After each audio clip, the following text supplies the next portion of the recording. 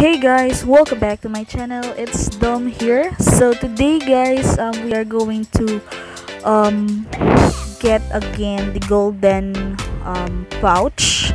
So golden gold gold pouch, I think. So it's um, at the gold mark. Uh, I mean goblin market. So it's gold goblin pouch. Alright, so it's a hundred um, gold. So let's um yeah let's try to uh, to buy it again. So um let's see what we can get this time.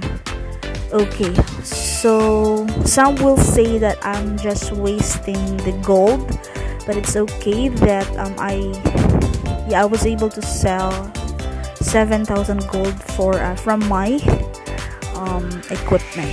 So yeah. So here we're going to buy this um, pouch. So um, I already bought it so I have 200 for the mileage.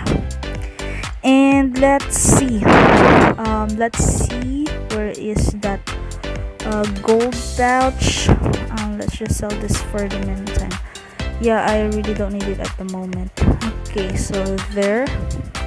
You cannot guess what's inside so I am wishing to get the epic mystic enhancement stone so that I can I mean upgrade my equipment. So yeah. Okay so let's see. Let's use this pouch and wished. Alright. Okay so I got this uh, prosperity cordial so yeah. Well thanks so much for watching. You have a great